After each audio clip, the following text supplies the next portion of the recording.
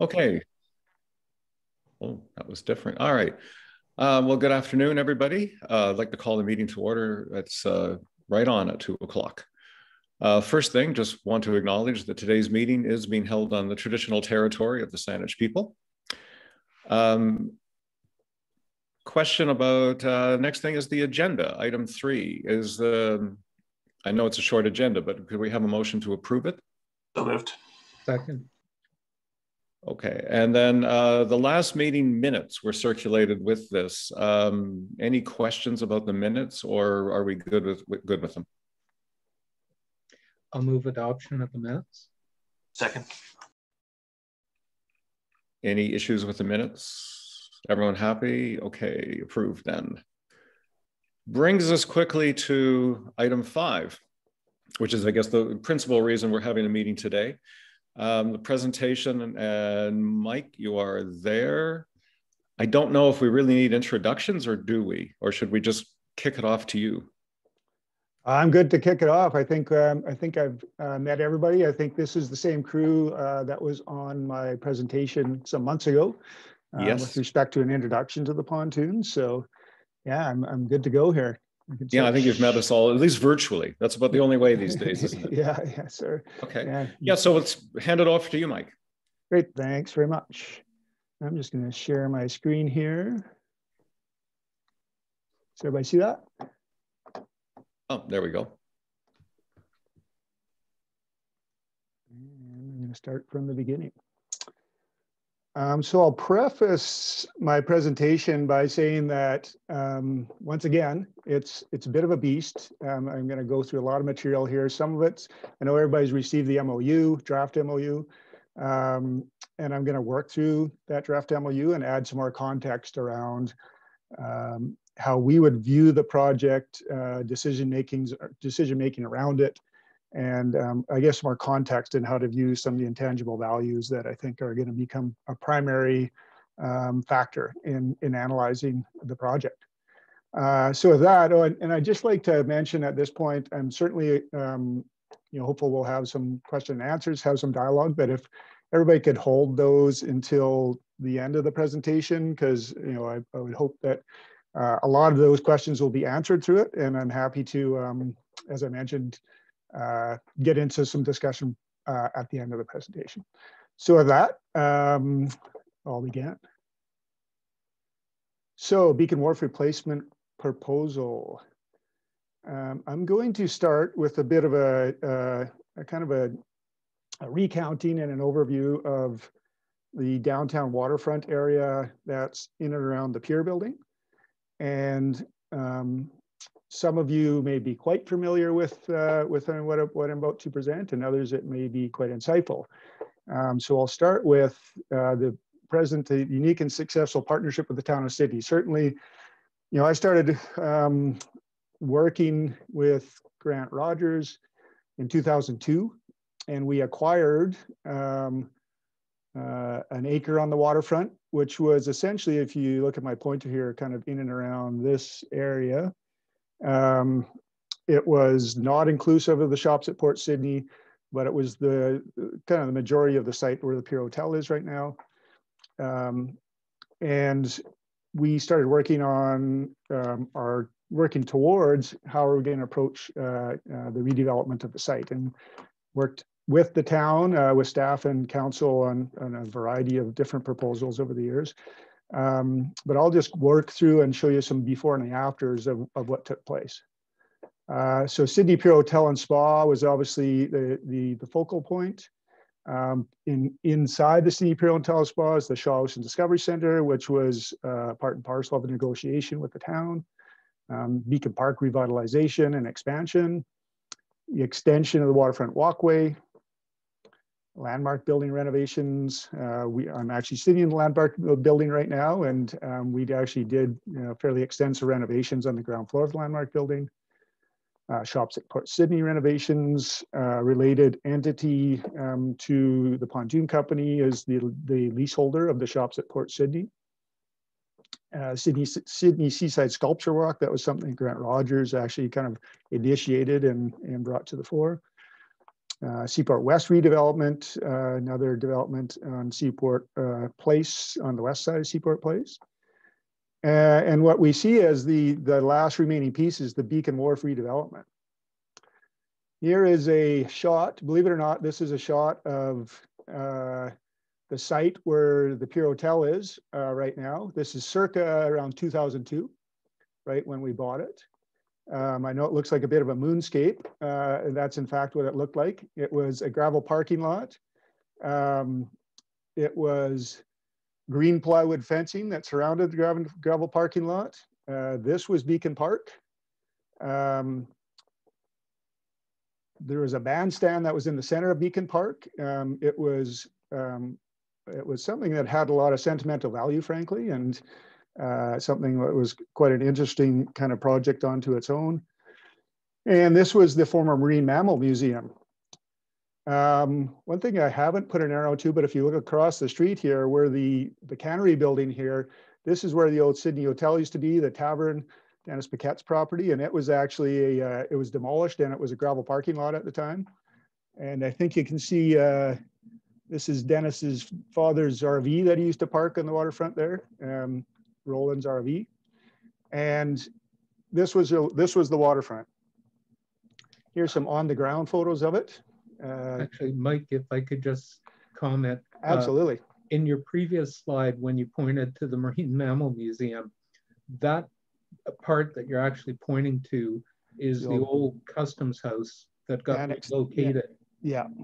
as part of your project too. Yeah, and I'll, I'll, I'll talk to that in a little bit, but yeah, just interestingly, for those who may not know, the, off of Beacon Wharf used to be an access point, and Peter, you know better than I, but it was, this was actually, a they, they called it the Customs Building, and there used to be two buildings here, and used to drive through the center of the two buildings to clear customs. So the brick building that is now at the top of Beacon Avenue, that is the, uh, the Tourist Information Center, that was this building right here, the building that with the arrow to it. And then there was a cinder block building that was kind of the annex to it. It was an addition to it. And um, I distinctly recall walking in the front door uh, and there was a, it was called the Marine Mammal Museum. And there was a fellow uh, volunteer that was reading a novel at the front and he had a coffee can there and you put in your donation and you went in and the exhibits were like flipping light switches and light bulbs would go on and that sort of thing. So it was something that was quite outdated. Um, there was also a, a um, another facility. It was the um, a, a floating facility that was in the marina, um, which had some laboratories, and it was kind of an educational um, facility. Um, there's a great old uh, bio, biologist. They used to marine biologists used to hang out there, and they used to have the, the kids come through and go through their classes. And uh, that was the um, was it called again, Peter? The Bill Austin and the Marine Ecology Center. Marine Ecology Center. So when we Up in Cowichan Bay. then it got towed down to Port Sidney and uh, and then when we put the port the pier building together um, kind of part of the trading and negotiation was the, these we knew the marine mammal was gonna the museum was gonna disappear the ecology station was sinking frankly so that kind of got mothballed and it was combined into what we know as the um, the uh, the new uh, Salish Sea aquarium that's in the in the uh, in the pier building now. So moving on, there's here is where the, this is the backside of of the old uh, area that we were talking about. Here's the uh, the bandstand, and this is where the pier building is right now. Marine Mammal Museum bandstand. Uh, you can see there's a gravel pathway here. The uh, the town actually didn't own the gravel walkway or the walkway at that point in time. Uh, uh, at that at that period of time. Um, you can see that it was really a, a weed covered gravel parking lot.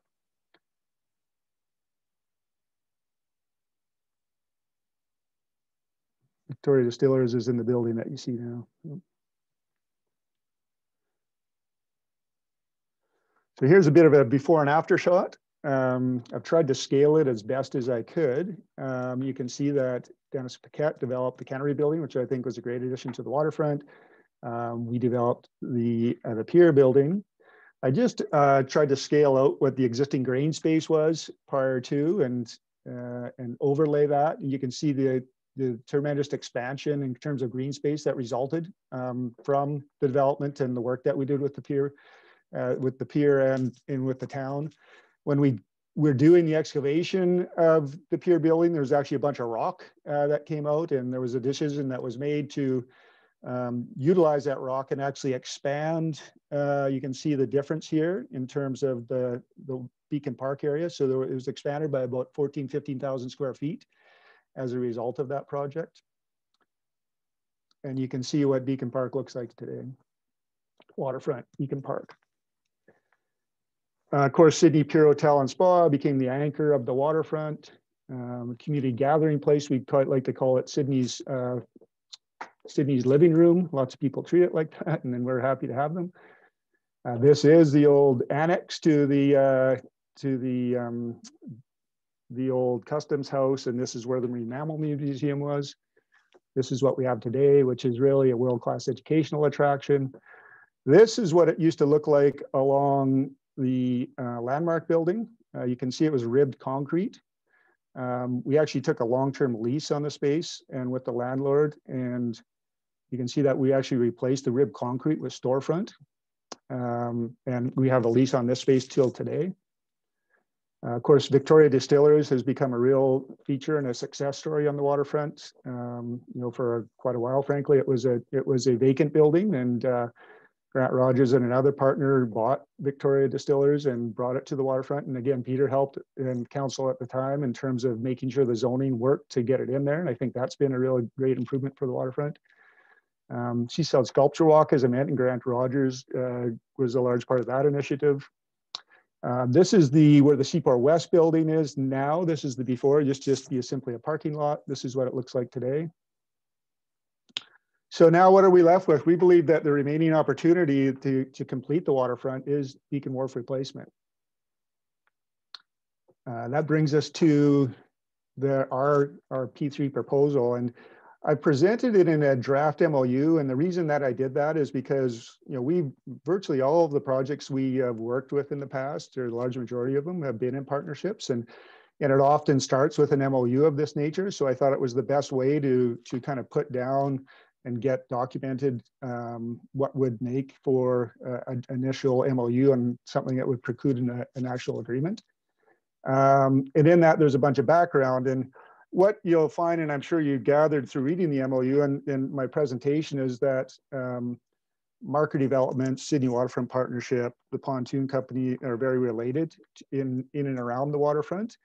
And I don't think that our project really works um, to any great extent with any commercial um, enterprise for sure, with the Beacon Wharf replacement without the involvement of, of the various holdings that our group has down there, and in particular related to the parking and the synergies that can be derived from it. And so that's why I provided you with the background so you can just get some understanding. So Seagate, as you know, is the owner of the end floating concrete pontoon. Um, Sidney Waterfront Partnership, we'll call it SWP from now on, owns 100% of Seagate. SWP also owns 100% of the Pier Hotel. Mark Developments who is Grant Rogers. It's Grant Rogers Company is a 50% partner in SWP. And Marker owns surplus parking stalls located under the Pier, Pier building. And uh, as stated in the MOU, to be clear, those are surplus. They aren't um, required under the parking loading bylaw for any specific purpose at this point in time. Um, to give you an idea, we call this the ground lease. This is the shops at Port shops at Port Sidney um, leasehold land with the town of Sidney. Um, Rum Runner building, again, Victoria Distillers building, 9158, uh, which is the Surly Mermaid uh, building, um, are all part of that ground lease. It expires, the initial term expires 2038, and then there are two eight-year renewals on top of that, which um, lead it out to 2054. Uh, another note is Port Sidney Marina the town actually owns a portion of the bottom of Port Sidney Marina, and that's included in this ground lease. So Port Sidney Marina is actually a subtenant, a sub-subtenant of, of Sidney Waterfront Partnership. Um, administratively, it goes directly through the town, but they're in fact a sub-subtenant. So again, for, for the sake of this presentation, these purposes, we'll call Seagate, SWP, and Marker all collectively as, as Sidney Waterfront SWP Group. the objective to redevelop uh, Beacon Wharf property into a P3 project to manage, maximize the total combined amenity and economic value of the property. At the end of the day, we want to make Beacon Wharf a great place and a public space. Um, in in planning for and, and looking at what the potential is of the space, um, we always take inspiration of other exceptional waterfront locations. When I um, uh, was working with Grant at the very beginning and, and a marker group uh, when we purchased the waterfront property. Grant actually sent me to San Francisco and I went, I drove from San Francisco to San Diego and I stopped in at every small town, every waterfront town along the way. And the idea was to gain inspiration and insight as to what made a great little, great small town a great waterfront. Um, the thing that I noted it was really connection with the waterfront, I think is what really defined those communities. Um, Monterey has, uh, you know, probably on a bigger scale, but a lot of what Sidney has. It has um, great marina space. It has an aquarium that's world renowned. Um, it has dining on the waterfront, but it, the, what really defines that waterfront is connection with the water. This is a um, this is an interesting project that um, Jen and I became familiar with because we were talking with a company called Seaflex, and they actually do mooring systems um, for large structures like con concrete floating structures. They they provide kind of the bungee cord, um, the bungee cord anchor lines, and they did a project in Tasmania, believe it or not. Um, that's called Brook Street Pier, it's a floating pontoon building in the waterfront area in the city of Hobart, Tasmania.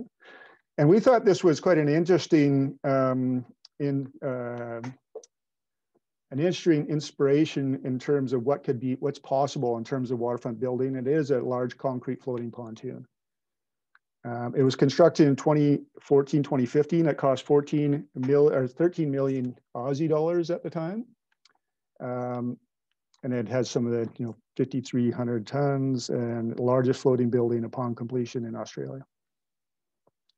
You can see that it is, it's the architecture of it is very light. It's something that has a nautical feel to it, um, but it's really a floating building. What we're talking about is a floating building and ancillary space that provides great public access down to the water. But at the same time, it's something that we really looked at. And, and as the architect described it as a, a tourism and transportation hub, um, we could see this as a real hub. Our the, the, project we're talking about right now, Beacon Wharf replacement, is a real hub for the downtown waterfront. So I just want to put some disclaimers. This was with great help with Jen's team, and um, they've they've done a great job in terms of taking some of our our information relative to the pontoons and some of the information you see from Hobart there, and put together some um, some of which you guys have may seen or components of it. But this is the um, just to give you a plan view perspective of scale and location. Um, this is the layout of the pontoon at, at the present. And you can see obviously uh, Beacon Park and the Pier Hotel uh, to the west. Um, here's an overview. Uh, as again, you see the, the building is inspired um, by the, the structure in Hobart. Um, of course, we have a 266 foot long floating concrete pontoon, 103 feet wide. Um, I know that in the SNC Lavalin report, they talked about wave walls as wave protection. And it's something that we're not too crazy about in that I think it'll create a separation um, from the water and something that isn't um, aesthetically great. And so the concept that we've come up with is instead of creating a wave wall along the perimeter of the pontoon, we actually create a platform that's in the void of the pontoon as we see it right now. And that platform would be five feet high. So if we have five feet of freeboard off the water with the pontoon and five feet high of this raised platform, um, our thoughts are that will provide the building with the, the wave protection that would be required. Um, we also would add uh, certain wave shields if that were necessary. You know, there, there'll be an element of design that we'll have to consider in terms of the final design of the building and, and the wave protection. But our thoughts are this is a far better um, formula for creating a good platform for the building and then providing ramps down to the lower levels that would provide access um, to that really on, on top of the water floating feeling. Uh, the Beacon Wharf building, 91 feet wide, uh, pardon, long, 55 feet wide. Our concept is to have eight hotel rooms uh, on the top floor and have a 120 seat restaurant on the main floor, um, 60 square feet of commercial retail unit and 400 feet that the town of Sidney would uh, would own.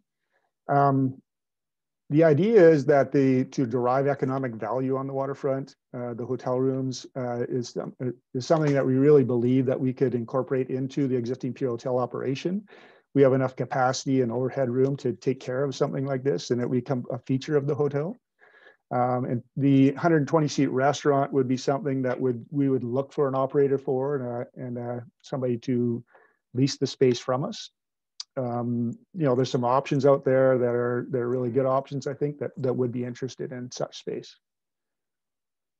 Public square, the the landing uh, area of the ramp would be a, a public square.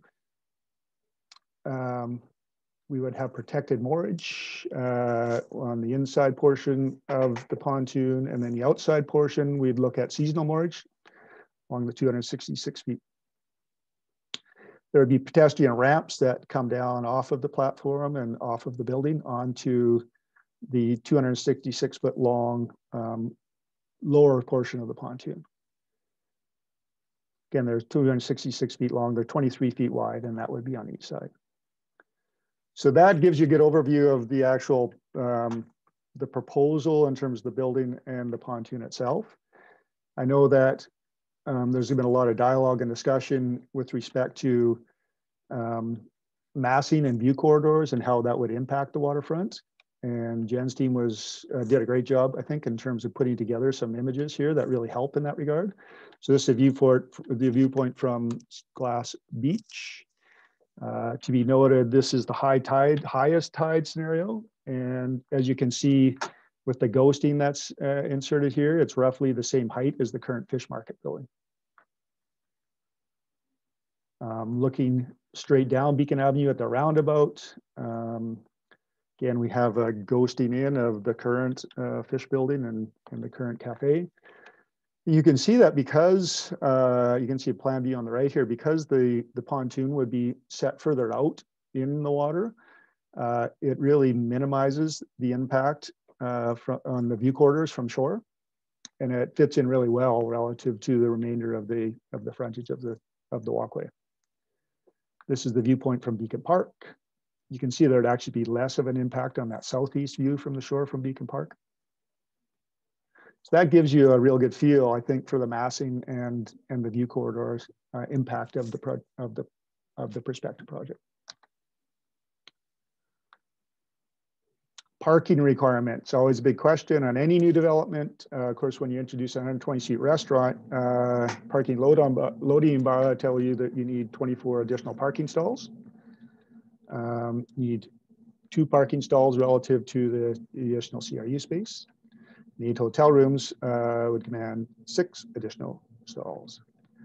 For the source of these parking stalls in uh, the shops at Port Sidney, we actually have enough capacity that in stalls that are not required uh, to be designated under the parking loading bylaw that are currently pay parking that we could designate as parking for um, for the new Beacon Wharf. Uh, I mentioned that Marker has parking stalls underneath the underneath the pier building. Um, those would become uh, those would meet the requirement uh, for the parking stalls under the parking loading bylaw for the hotel edition. So the contributions, SWP Group would contribute the end pontoon, 100% uh, of the Beacon Wharf building costs, costs related to the new pontoon deck underneath the Beacon Wharf building, proportionate share of the electrical water sewer drain services cost and building permit costs, uh, annual crown lease fees that uh, when the water lot is finalized, we know there's going to be crown license fees that are that are uh, going to result from a commercial enterprise on the water, and that would get passed through by the town. Of course, we'd be paying annual property taxes, and I, I think a, a, real contribution is that, of course, it would be for a fee at five percent that we, we would be the project managers for the project town of Sidney contributions. So all the project costs not covered by the SWP group, including the removal of the existing wharf structure, pontoon towing, refurbishment and mortgage, abutment and ramp, renewal and amendment of the water lot lease, leases, if necessary leases, proportionate share of the building permit costs. Um, as I mentioned, uh, it's 2054 is the, um, if we execute the options that we have, uh, the ground lease would expire in 2054. In order to get a 50-year time horizon, which I think everybody needs to justify the project, including ourselves, we would look for two additional 10-year ground lease renewal options at market. Um, it'll be, as we know, a year or two um, before we're able to start construction on the project. Um, that's primarily due to obviously the approvals process, but also the the um, the the renewal and expansion of the water lot lease. Benefits for the town of Sidney, yes, course, of solution for the wharf problem. Uh, primary reason that the subcommittee has been um, constituted, uh, almost a million dollars in value contribute SWP group. That is the value of the pontoon and the um, space in the pier building or the wharf building that we're describing. Expanded tax base due to the commercial operation. Uh, we really believe we bring a lot to the table in terms of managing coast-based projects.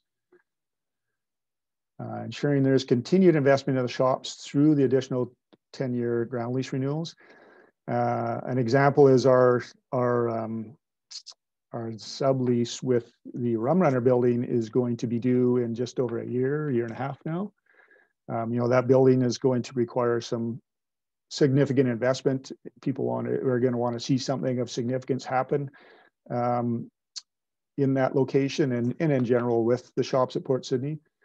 But given the um, the minimal time left in the term of this of the ground lease, it's something that um, is really a negative relative to investment decisions that Sidney Waterfront Partnership will make for the ground lease lands.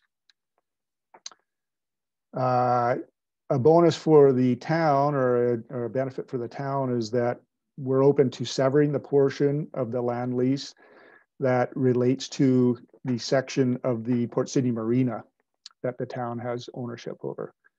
So it'll just provide more flexibility and, and there is, I know, ongoing discussions with Port Sidney Marina as to, um, you know, their, their relationship with the town.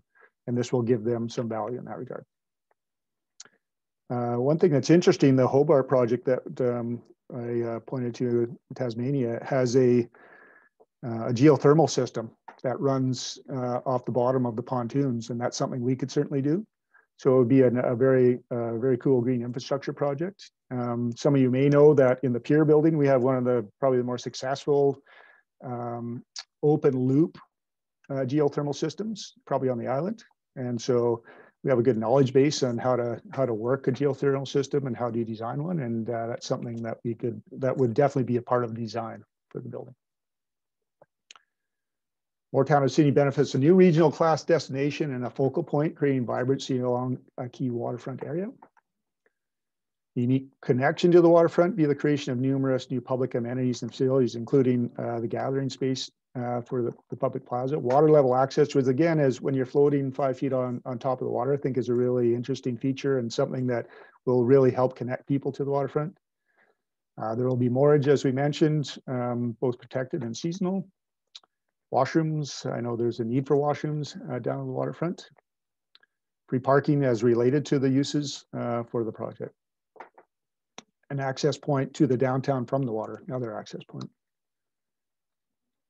So it's SWP's investment decision. You know, obviously the town and SWP have to look at this and determine um, how how would you value this as an investment. Um, for us, we put together a pro forma invest a pro forma investment analysis, and we look at our capital investment. We have a seven hundred ninety-five thousand dollar pontoon, and that's the market value of the pontoon that we'd be contributing. Obviously, there'll be significant cost for the development of the new building. Um, parking spaces will have to be acquired from the pier, and then uh, from the shops at Port Sidney will have to be rededicated. In return, there will be eight additional hotel rooms added to the existing pier operation and 4,000 square foot restaurant with triple net rent that we'll get off of that property and 600 feet of CRU triple net rent off of that property.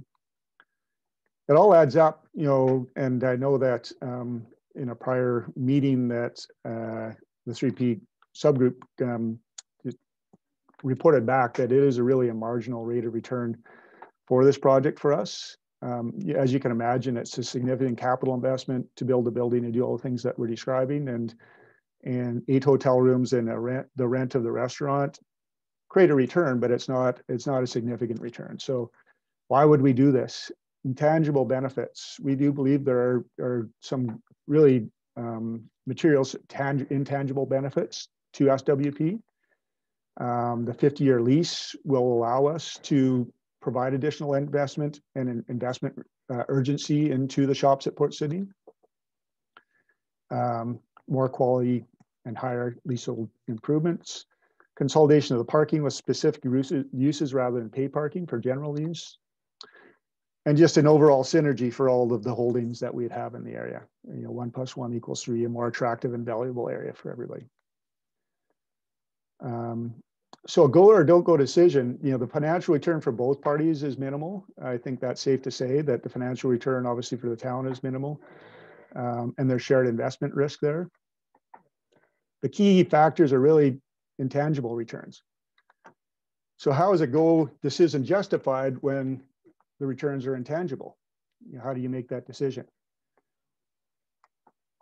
So to put some context around this, um, I've, I've, um, I've created the, a, a presentation on really how uh, a number of, smart decisions that the town has made in the past have created great intangible returns. And this kind of placemaking, place making concept, it's a bit of a buzzword in, in kind of the planning world, but is I think it's something that has some relevance here. So it's really um, the process that creates great public spaces. Like how do you, and, and Sidney has a number of them, how do you come up and create great public spaces? Well, great public spaces are valued, often valued on intangible benefits for the community and they're, all, they're also made as a result of synergies with private businesses. Oftentimes, great public spaces have the energy and vitality of the public of the private spaces that are around them. So what I've done is I've gone through and um, and put together a presentation of some of the great spaces in Sidney and some of the history behind those. So Port Sidney Marine and Shops at Port Sidney, we've already touched on that a little bit. Beacon Avenue is a really interesting study the Pier Hotel and Beacon Park. Again, that's all related to Port Sidney and the, the Lochside Linear Park uh, and the Lochside um, improvements. The new skate park, which is a favorite of mine, even though I'm not a skater, but uh, I think it's been a really great project.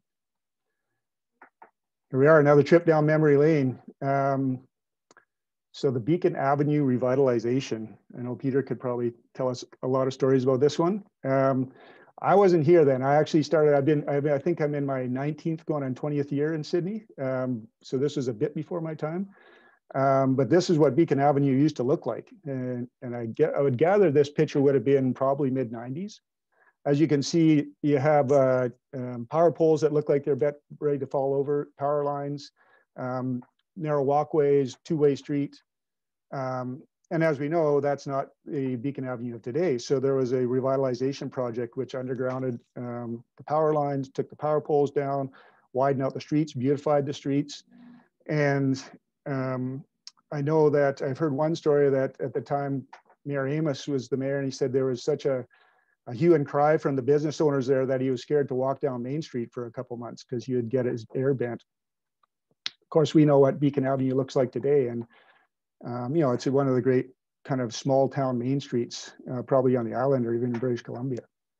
And hopefully we'll see things like the scenes, the scenes that we see in the lower right here soon, but it's, it's created a great, amazing vitality for the town. So I think that's a real success story. And it did, it, it came with a lot of opposition and political will to, to get it through the process. Port Sidney and shops at Port Sidney. This is this is a bit of a data picture, but this is where uh, Port Sidney Marina is located now today, and this is uh, some of the infill site where the shops at Port Sidney is located.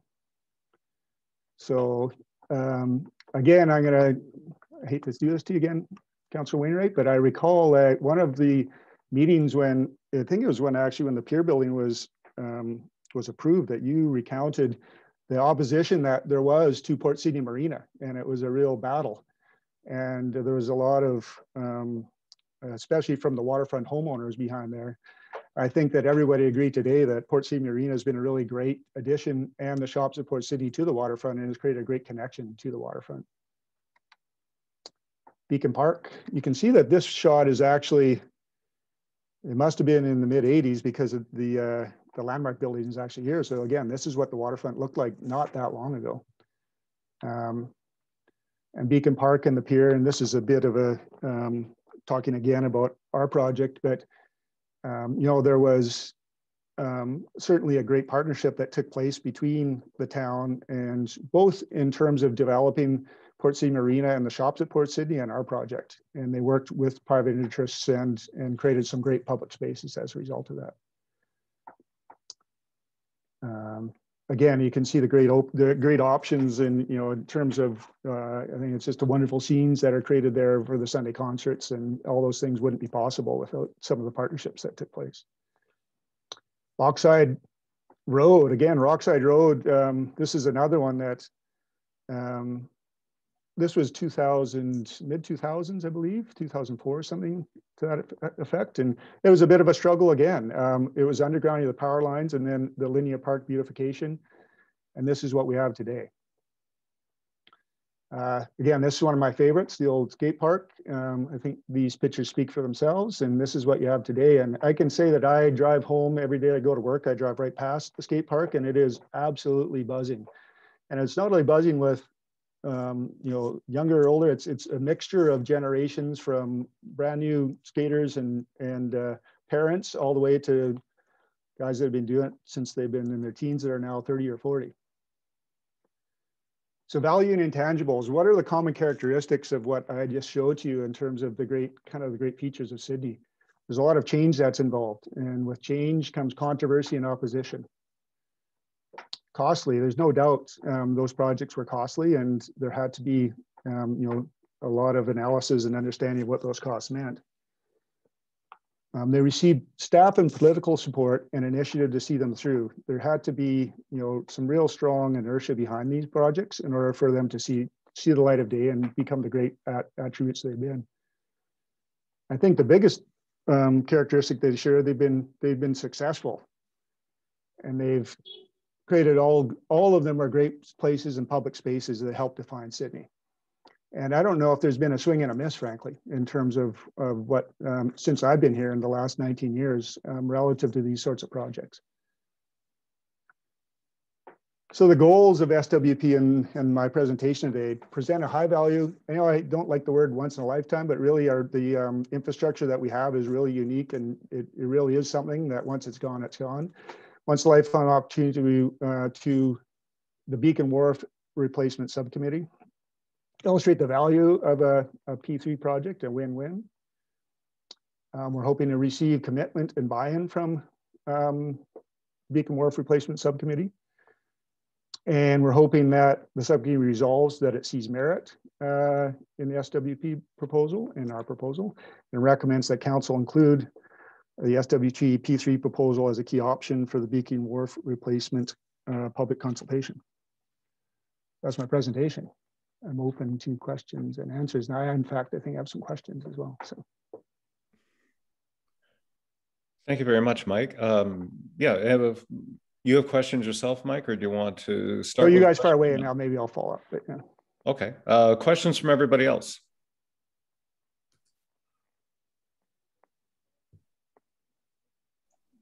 So maybe I'll start things off if I can, uh, Mr. Chair. Um, I, have seen the presentation previously. One of one of the components, and, and I thank you, uh, Mike, because uh, you added um, the segment at the end, you know, looking to the synergies and comparing this project to some of the other successful uh, developments in, in Sidney, public developments, and uh, and you've articulated very well um, SWP markers role in um, the waterfront bringing it to what it is today. Um, and those have been, as you noted, based on um, partnerships of, of uh, cooperation and trust and, and very successful. So thanks for, for the presentation. Um, one of the elements, uh, if you just circle back to it uh, and speak a little more about uh, moorage and what you see for potential in terms of mortgage, uh, I think the presentation, you know, depicts the the public use space very well. Maybe if you go back to that one of the overheads about midway through the presentation might help. Um, it speaks very well to the, the the diagram speaks very well to the public space that would be uh, available. Um, the the moorage space uh, in the center that you're describing, um, perhaps as uh, year round, if I understood correctly, and then seasonal uh, along the sides of the uh, um, the floating uh, pontoons. Um, what do you see with that height differential taking place? What sort of investment be required to actually facilitate seasonal moorage there, Mike? Yeah, frankly, we haven't uh, haven't explored this probably as much as we could in terms of and and as um, as private businessmen a group, we're not as interested in kind of the management of the moorage. Um, it's something that we would look at. You know, there's a marina that's next door that may be interested in, or the town may have somebody that would be interested in it, as kind of one-off um, management of that moorage space that's not something that we see as is that's really um, um, valuable or, or something that will work with us necessarily because we aren't in that business really. Um, so we'd be open to dialogue with the town in terms of what the correct approach is for that. Um, in terms of the seasonal moorage, um, I know there's concepts of putting in seasonal floats. Um, there's questions around that. Is that going to be cost effective to do it that way? Or can we simply cantilever off some, some um, seasonal floats, some permanent areas that would, would take the, um, the deck level down?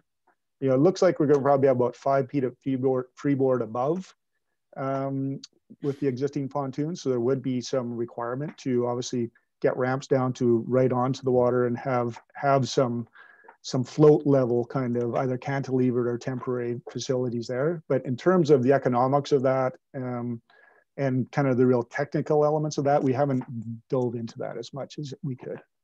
So it remains to be determined if uh, if moorage in those areas is is going to be cost effective or, or necessarily feasible. Yeah, I think it would be for certainly for for the right the right party. I'm certainly there'd be interest in doing that. It's I just guess we're saying that that's not something that we're particularly interested in doing, but I think that I think there would be an opportunity there for sure. And you know, there's opportunities. Eh, there's always um, this whole pocket cruise industry, and hopefully that becomes a thing again. And Sidney would be a perfect location for pocket cruisers to come in, which are smaller kind of cruise ships that come in and take advantage of right off of the you know right off the wharf. You would have downtown Sidney and, and you have a benefit of that. And I know they're looking for locales to pop into. So yeah, I think there's definitely opportunity there. It's just that I think it's just more exploration in, in terms of who the right operator or partner is for that. Okay, thank you. Uh, Peter, go ahead. Mike, I'm wondering if you uh, gave any thought to um, uh, potentially use using the roof and uh, you know, it, it seems like, uh, well, a great opportunity for an observation platform, for example. Um, but it also looks like it, you're certainly going to be seeing it from above, but it, it, it seems like it, it's kind of a, a wasted opportunity to not take any advantage of that additional kind of level, even if it's just solar panels. Yeah, no, I think that's absolutely you know a great a great suggestion. And frankly, we haven't taken a strong look at the roof, and part of that might be because, and I guess we could have some feedback back and forth or dialogue back and forth with the town. Would there be opposition to that from you know some people? would they would it be deemed to be something that's too much? But um, absolutely, I think the roof could be um, something that would be could be a great opportunity. It could either be commercialized a bit, maybe it becomes a rooftop deck for the for the uh, for the restaurant somehow, or or like you say, maybe there's opportunities in terms of solar panels or additional um, observation space, because it would be tremendous space. There's no question it would be really unique up there. So no, I appreciate that. And that's something we'd certainly explore. Actually, while I think of it, um, something else you might uh, think about as a feature would be um, uh, mounting some underwater cameras and, uh, you know, having some subsea viewing uh, as uh, yeah. yeah. something. It'll become it'll become a, a community underneath there for sure. It'll become yeah. That's another great show. Yeah, absolutely. Might be you know is there something that we could send into the um, to the aquarium as well from that perspective? Some feed. So we're going to jump in and just say exactly that, Mike. That if there was if there were underwater cameras, it would be a perfect feed over to the Shaw Center, wouldn't it? Yeah. Yeah. Uh, just a, a, quick question about the building. Um, the SNC Lavalin work that was done for us, basically all of the all the renderings there showed just one level. Um, in terms of being able to go higher, especially the the concept of the roof deck as well, is there is that been is that something that we've got as a to do if we want to push forward with this to be able to handle two stories? Yeah, I've you know there's it's an interesting world, and this is no disrespect to SNC Lavalin, but there's there's different specialties in the engineering world, and um, the contacts that I've talked to, and and one thing you'll say is buildings are light. At the end of the day, there's not when you think of a building and what's involved in a building, there's not a lot of weight that comes from a building, mm-hmm. um, so it doesn't create a tre tremendous amount of loading. Um, you have to remember that there was a fully loaded, this thing was, this pontoon was originally designed to take the load of a fully loaded interstate highway on top of it. Right. Um, so, you know, it, every, all the indications that I have are that the decking and the, and the kind of the decking that we could put on this would be more akin to something that you'd see in a um, parking structure or a bridge. That's what, how we deck the, uh, the inner portion and it's not extremely heavy as well. So there's ways that we can do this that, um, yeah, my preliminary investigation is that the, the the weight and the loads that they would that the building would create would be handled easily handled by the uh, by the pontoon. Okay, thanks. And that's, that's obviously to, that's sorry, that's further investigation after that. But uh, right. So at the moment, in terms of um, because I agree with you, buildings are generally pretty light when you think about their overall footprint, right? But the space they occupy, but there's a lot of air inside. Exactly. The um, SNC report also did tell, tell us about adding flotation, especially towards where the ramp, beside the ramp to shore. Um, if that is also re- finalizing those types of things, is that under who? Who's that under? Under the way the MOU works, the way you've structured it right now, to actually carry through with finalizing what's needed and getting that done. Is that the town? No, the town, it, it, would be a combination in terms of the decking itself, because the decking would be the responsibility for the building and in and around the building would be SWPs. Okay. Um, I, again, I have, I have contacts in precast concrete company and an, an engineering firm that specializes in these kind of unique projects. And so we'd look towards them, but I think it, in, there would be an equitable kind of sharing of that between the town and ourselves. Okay. And then one last quick question for me, and then I want to, I, am looking for hands up, but also um, the orientation that you showed it, I think it was on this slide or the previous one from shore, and the, then the views from shore and, and um, Seaglass Park.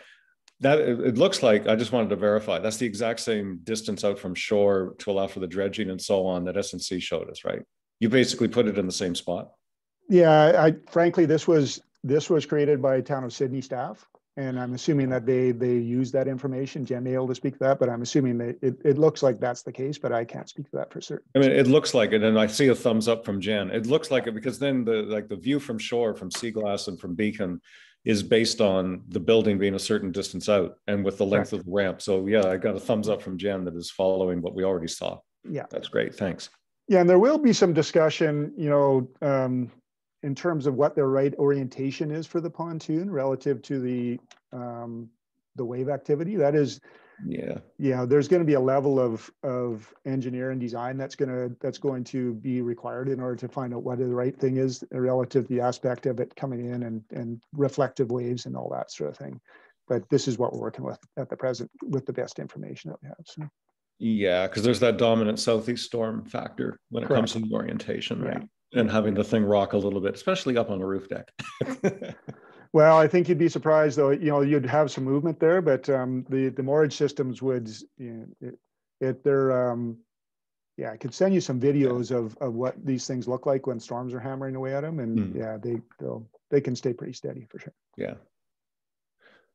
Okay. Um, anybody else? Who else? Scott here. I'll go if uh, you have a slot. Please go ahead, Scott.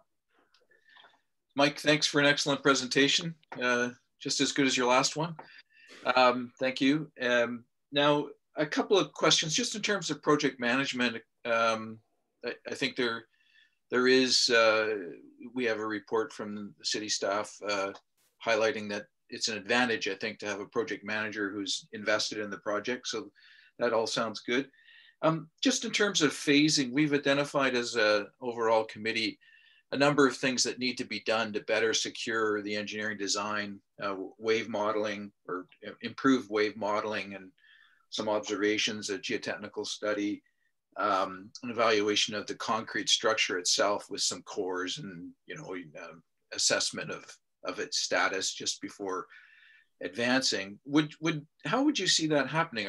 Would the we sort of reach agreement, establish an MOU, move, and then the the project manager takes over those those aspects, um, sort of those outstanding things that need to be done to firm up the engineering side.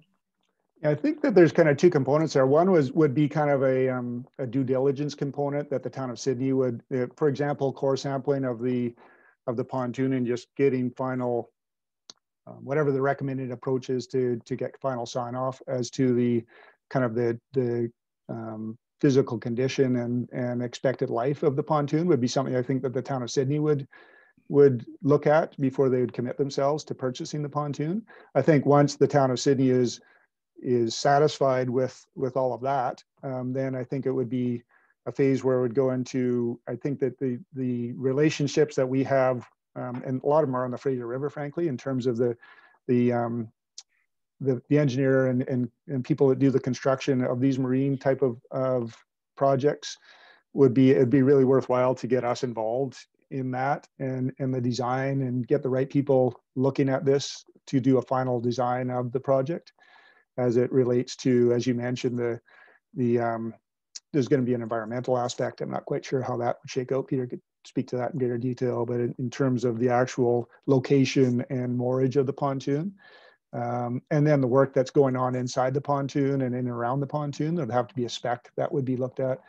Um, so that's something I think the engineers that we work with in our team would be really, really um, kind of beneficial and kind of being involved in that. So I'd take, I'd say that would be more of a a partnership with the town and ourselves.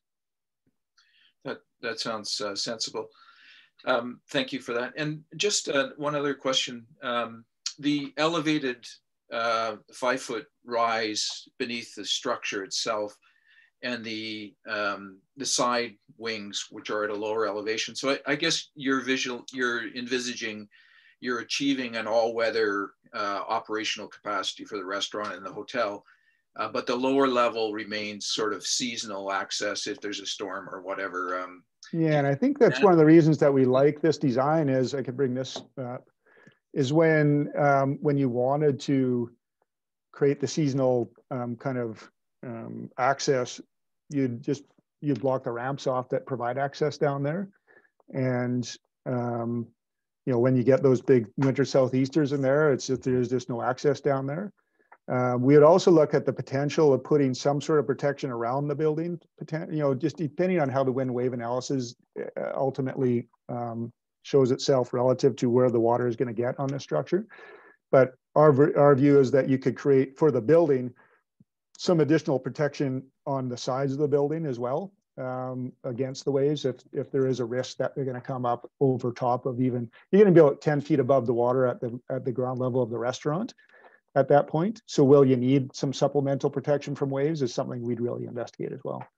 But yeah, it, in terms of the the lower portions of the pontoons, there would be certainly periods of time where you wouldn't have public access down there. Thank you. And then my final question is the ramp itself um, coming into the public square area. Uh, we've had some discussions in the committee, you know, should there be vehicle access? Um, and I think you may have mentioned two ramps or um, I'm just wondering, you probably haven't really thought that part of it through. And I think the responsibility is more on the city side as, as you've outlined. Um, but do you have any initial thoughts on the ramp or is that something that you just would prefer to just separate? Uh, yeah, I think that, you know, there's going to be, the, I think the primary purpose for the ramp, I believe is going to be um, fire safety you know, in terms of getting getting what what's required from the fire department down there to for that purpose. and I, obviously secondarily, there's going to be deliveries and, and access for the restaurant and for the hotel. But I think, I think it would probably be sized relative to fire safety. Thank you.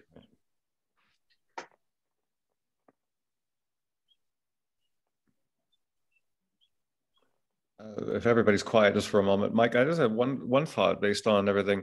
Everything seems to be very tied to a 50 year horizon. Like that's basically going to make this whole thing work for you and, and a lot of aspects to the town. The pontoon itself, um, one of the questions that keeps coming up, which is why the core sampling analysis and so on of the pontoon, is to also see if it has a 50 year life in it as far as the town's concerned you i assume you're just as interested in knowing the outcome of that analysis as the town. So um, what i'm thinking is what are the key um, milestones that lead to a no a go no go overall? Like for instance if something showed the life of the pontoon was substantially less than 50 years that's probably a showstopper for you just as much as it would be probably for the town itself yeah, I think um, our familiarity, like this, this pontoon was built to Army Corps of Engineers standards. It's when, when, and I'm not exaggerating, when, when, when workers go in there and try to work on it, the concrete's so hard that they break their tools. Um, we've had purchasers, you know, as I've described in my prior presentation, that have done all kinds of due diligence on the pontoons and invested substantial sums in them.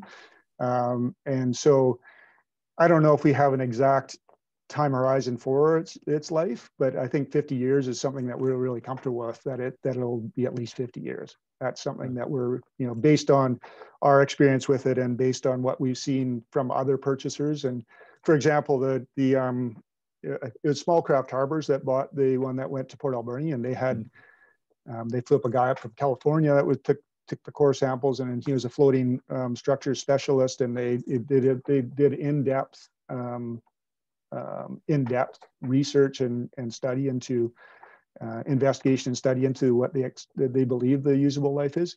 I'm not quite sure where they ended up with that, but it's we're very comfortable that you'll get 50 years out of it from our perspective. We don't have any of our of um, but originally we had uh, actually Hay and Company do a report on that, but I yeah I'd have to dust that off. But in terms of 50 years, that's something we're willing to believe is going to be be there at the end of the day. So. Mm -hmm. Okay, and then uh, one last um, technical question maybe is just going back to that ramp coming from shore, going onto something that's now five feet higher than I guess what SNC showed. And maybe it's also maybe just as much a question to Jen as, as to yourself is, is the ramp at a high tide, does the ramp end up slightly going uphill in the end or is it pretty much level, Jen? Or I don't know this is the, This is the image, uh, this is the image at high tide. Um, so this gives you an idea from Jen's team's perspective. Okay. Because I know one of the details that the committee is working on is just how the tie-in at shore is finalized and all the things about accommodating sea level rise, et cetera, et cetera. So just that's a detail that we'll just we'll just get back to, I guess. Yeah. Okay. Um, I have a different thing to ask about, and um, I, I guess, uh, Mike, I'm wondering if you've um, considered at all what kind of benefits may be there in this project for the Wasanich? And the reason I say that is um, there's certainly going to be consultation as part of the uh, um, the expansion of the, the water lot or water lease. And I know that um, the Wasanich Leadership Council is kind of um, moving to the view that uh, major projects in their territory should provide some kind of benefit for the nation. So I, am sort of, you know, are there any opportunities, and, and it would be things like um, their war canoe tours maybe basing out of here, or perhaps um, Wasanich um, arts and crafts being sold. But um, it may be of benefit to the project to get an expedited um, uh, response to the, the water lot uh, lease expansion to, uh, you know, have something in it for them or, or at least think about that. Yeah, no, frankly, we haven't, we haven't explored that because we're, we're, we're trying to get it just to first base here, I think. But um, but I think it's something absolutely we'd we'd we would I think we'd take the expect the town to take the lead on that, uh, but we'd certainly be um, open to and be involved in the conversations in terms of what might be available in that perspective. Um, yeah, I think we're the our first. We're hoping to get you know as you'll we're hoping to get some sort of um, as I mentioned at the end some sort of backing from this group to start in through council and and get it going that perspective. But I I get where you're coming from there for sure. Uh, Rob, if I could, a question um, through to staff. Um, I know in the in the one of the schematics, uh, Mike, you'd identified um, a square footage area uh, for for town use uh, internal. Uh, you had 600 square feet, I think it was, of 400 space. for town of city. Yeah, 600 for uh, commercial, um, and and 400 for town. Through to staff, is is this something that uh, um, you see as utility space to support the uh, operation of, of a facility like this? Is it public washrooms? Is there some sort of potential amenity there that, that staff would find that space to be of value? I suppose that's for Jen. Might actually turn that over to uh, either Randy or Andrew, who have I can worked a lot around this proposal. I think our initial inclination was, and I mean, this is more this is where more discussion, I think, um, obviously um, needs, needs to take place. And I think um, that, um, you know, there might be um, additional options. I know uh, early indications, you know, uh, noted uh, the, the possibility of public washrooms, etc. Now we're, we're looking at uh, additional public washrooms um, uh, closer to the shops at Port Sidney, but um, certainly we've heard that the demand for uh, for washrooms uh, are are there within the within the downtown. So um, again, this is where some initial thoughts uh, um, were brought to the fore on that. But uh, I think uh, I think you know we need to uh, we need to think a little bit about what other potential opportunities might exist and. and and again, maybe those options are put forward as part of the the community engagement process, and uh, we hear from the community, and uh, and ultimately um, what council's thoughts are regarding uh, regarding that additional area. Okay, thank you. I might add, um, the report states that the increase in public square footage along the two sides of the building is uh, 750 square meters. So in addition to the town space within the building itself, you're talking about a fairly substantial net gain in um, public space closer to the water. Hmm. Okay, um, Sarah, you had your hand up. You have. I'm just sort of thinking about order of people. You're going.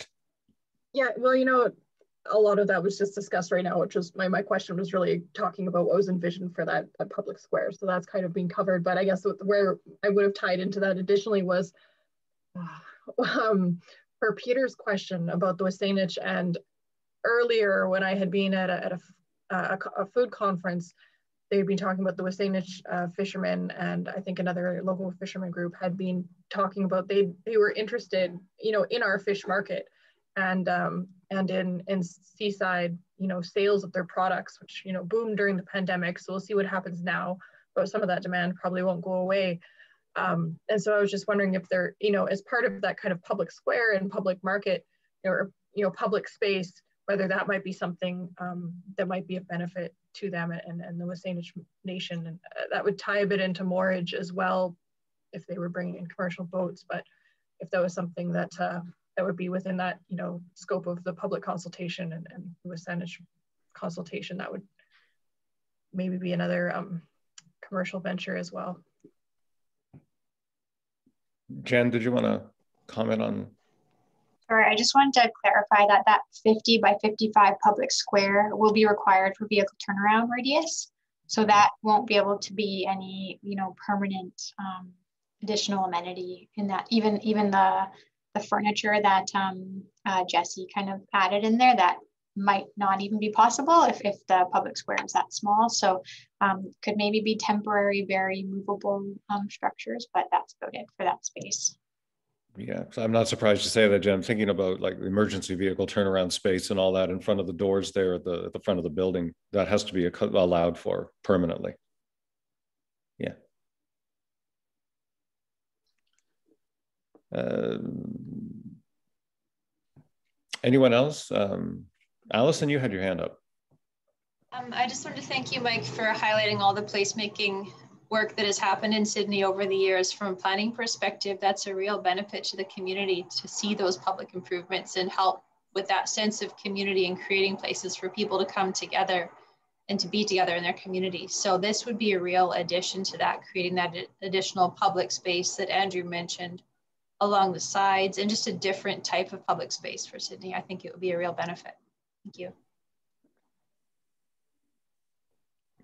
Yeah, I'd like to just echo that as well. I'm looking at the drawing, th imagining things like the on that lower level, and my personal reaction is I like the lower level. It's separate from the upper level. Multiple levels always, I think, just helps define the spaces better.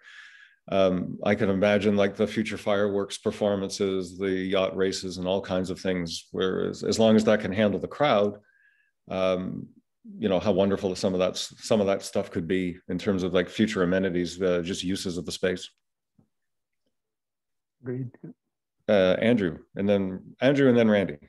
A quick suggestion moving forward. Maybe when we take this to the next stage, we um, don't refer to that upper portion as a public square and focus instead on the two sides of the structure. Mm -hmm. That really is more indicative of the uh, uh, the way it's going to work.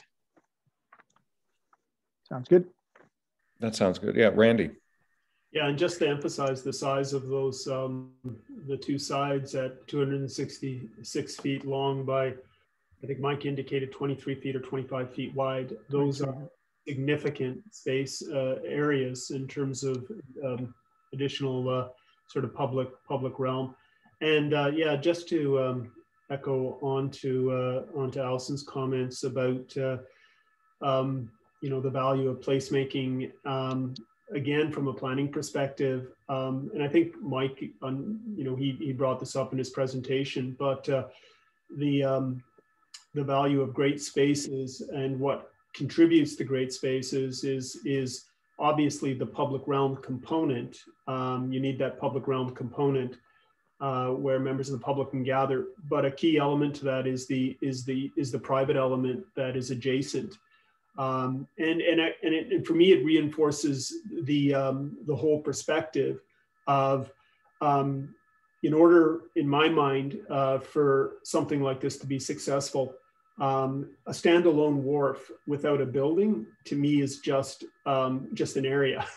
It's just an open area, and uh, without uh, without the, the value added associated with um, uh, a private commercial offering um, I think uh, I think um, it's it's not really there's the the value isn't there. So um, I think with the with the commercial component, I think that's what is ultimately going to make uh, this uh, a, a, truly potentially special place.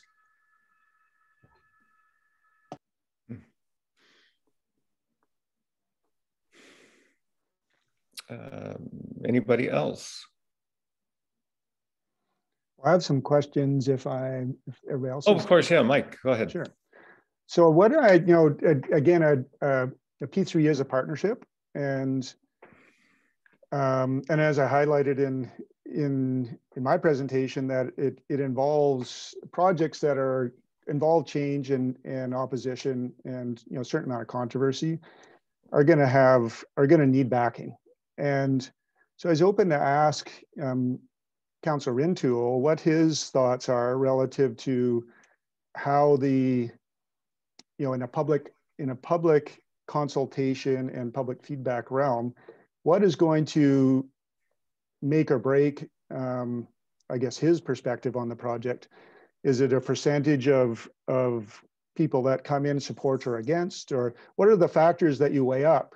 Because we know there's going to be people that are going to be opposition to the project. Um, you know, it's it's it has a it's going to have a fairly high price tag um, and and there's going to be involvement from the community and we know that that's going to be part and parcel of the um, of the process so so I was just wondering from Council Rintoul's perspective, what what is what are the factors that he weighs up in, in looking at a project like this? Yeah, thanks. Can I let Councillor Duncan go first? No, I'm just kidding.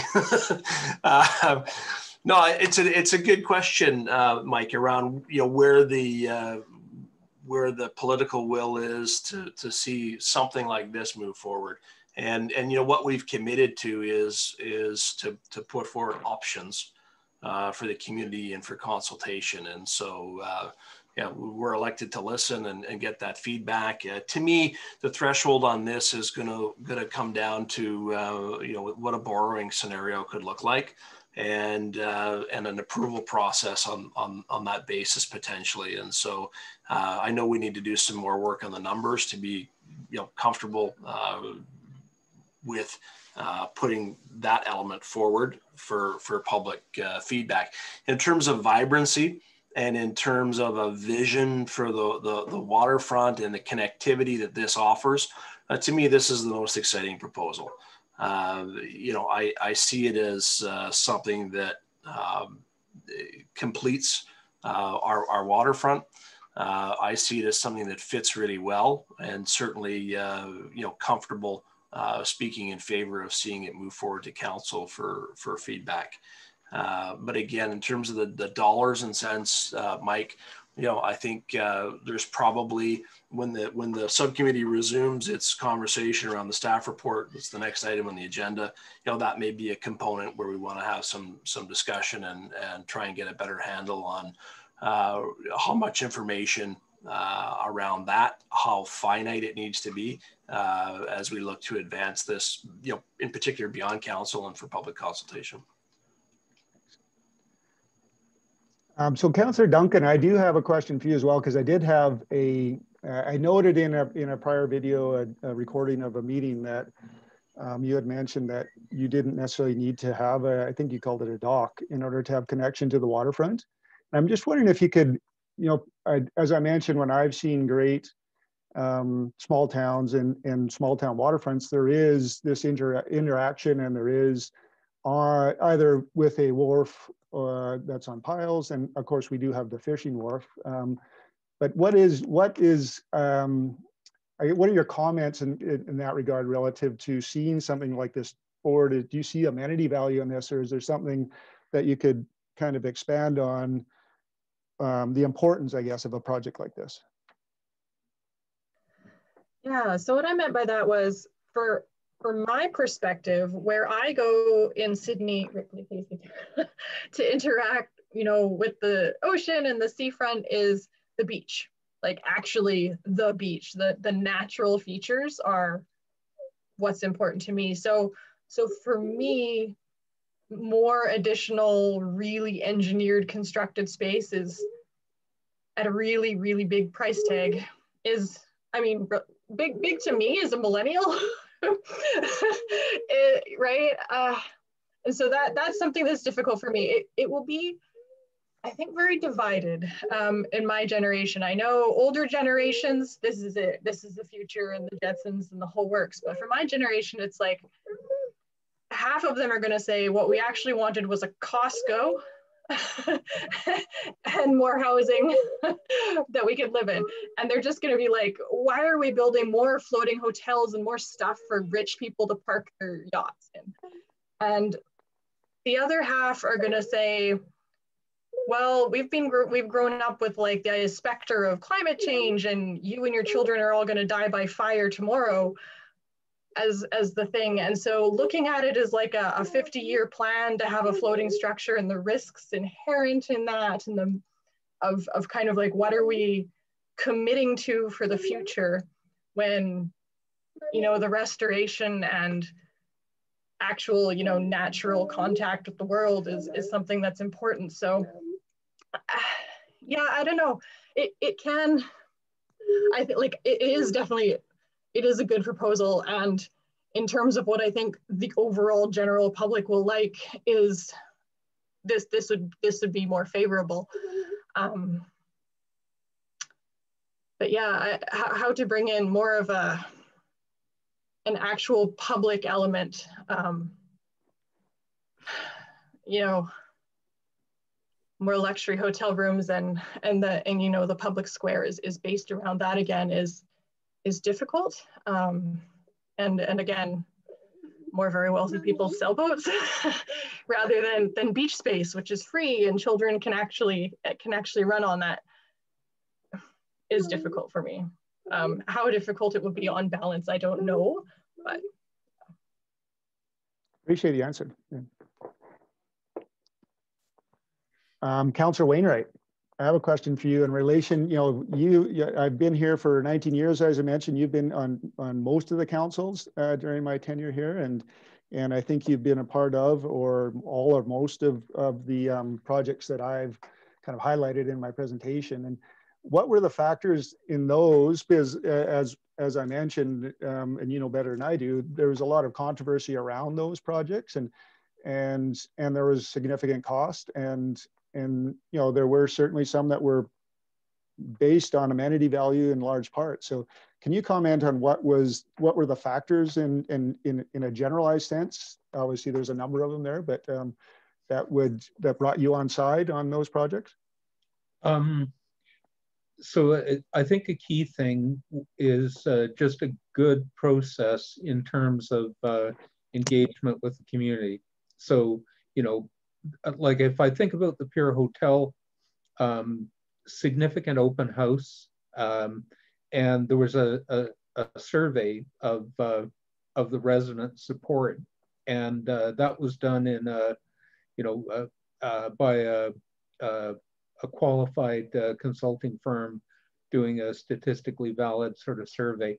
So a good opportunity to engage where all the information is out there is a key thing then um, you expect to hear a lot of loud opposition, even if it's a relatively small overall percentage. So uh, loud opposition really isn't a factor uh, affecting my thinking. But um, I, I do separate where I'm in a project like this, I'd be interested in what the downtown business community is thinking about it separately from what the community at large. Because if the majority of the downtown has got some issues with it, um, that will affect my thinking. And uh, beyond that, uh, um, if if for whatever reason I believe that a strong majority of the community is is of one view or the other, that does affect my thinking but I'm expecting it's going to be split. Um, that there'll probably be apparently equal support and equal opposition on this. And at the end of the day, then I'm probably going to be evaluating it on um, on the merits as I see them after listening to people. So that there's no sort of magic threshold that you've got to cross other than it's got to be a good process. Gotcha. I appreciate that. That's uh, that's good input. Uh, one one anecdote there is, and you'll probably remember who he was, but there was one individual who was stood up in one of our public meetings for the Pier Hotel and it was yelling at us across the crowd and, and saying all kinds of things. And he ended up buying one of our condos in the building. and so yeah it's an interesting dynamic at times that's for sure. Yeah, I, I, remember don amos going to uh, the mayor's breakfast meeting after the um, uh, you know the beacon avenue one way uh, wearing a um, rcmp flak vest and yeah. yeah. Right those are my questions. Thanks thanks for your replies. I appreciate them for sure yeah, Scott here. Could I just insert a comment? Scott, go ahead. Yeah, I uh, I I hear um, I, he I hear this this this comment about the the public value and the beach versus the the yachting. Uh, you know those kinds of contrasts. The one thing that strikes me uh, for consideration is um, the use of the word public square uh, is a great you know concept in my mind and I, I think we've agreed that the public square where it presently is uh, situated is actually going to be a kind of a business access uh, vantage point rather than a kind of an open area uh, where we might have some art or or you know mill, milling about.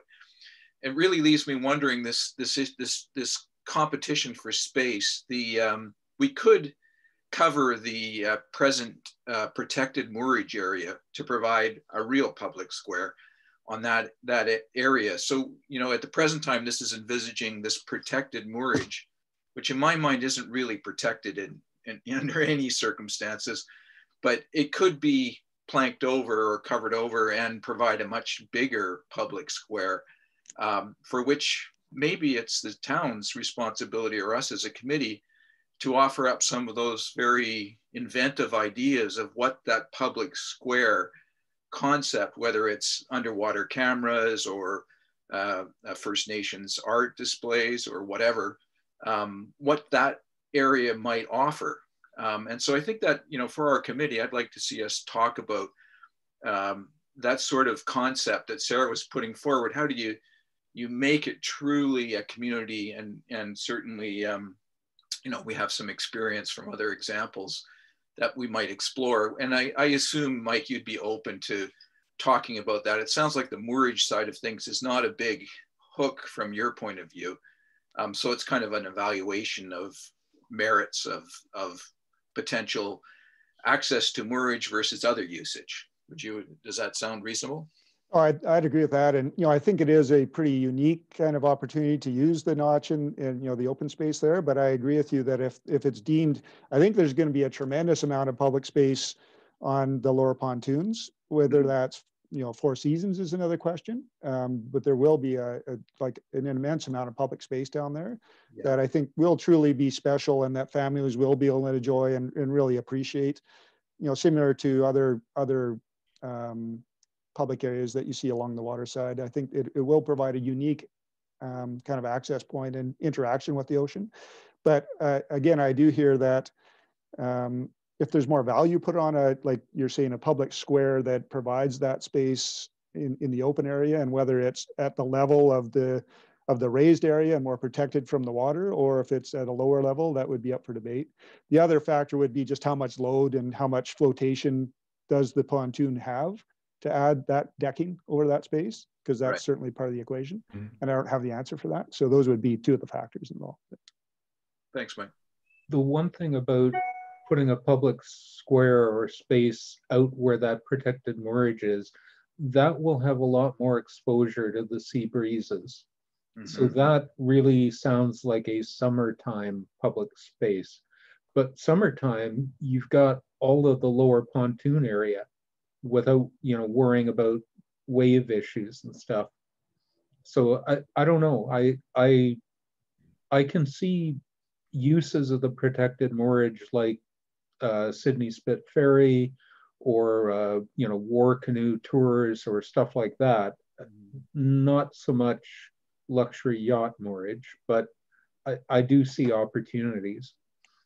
One of the things I'm starting to think about as well is um, there are things you can do to kind of strengthen the connection to uh, to the rest of the waterfront, like the sculpture walk could uh, could extend down here. Yeah. And and in fact, um, the sort of wind animated sculptures could really be impressive uh, in this kind of setting. Agreed. And I think we could create more of a connection around maybe open moorage here where you come around and create more of a walk, like a, a, walk where you do walk in and around and come up again and, and have a feeling that it is an extension of the waterfront walkway. Um, where you could do a little little loop down on the pontoon and then come back up and continue on your walk. Yeah, just to jump in, uh, two two examples that keep coming to my mind of something like that on a on a much bigger scale, something like uh, oh downtown Vancouver with the uh, where the cruise ship terminal is, and the public the public ability to walk around that completely separately from going inside, and uh, obviously going to where the cruise ships go. Um, Bellingham, Washington's um, Alaska Ferry Terminal, if you're familiar with that, again um, there's this there's the large building. It's not floating, obviously, but it's the large building, which is primarily there for the uh, for the Alaska ferry access. But it's but the, but there's a lot of public aspect to it that they made sure was there, and it's a it's a part of what that town offers. So there's good examples where the where the integration of a walkway, uh, basically, like you say, in continuation of the seawall, the art display, and that type of thing. If it's done right, it, it makes it flow. Yeah.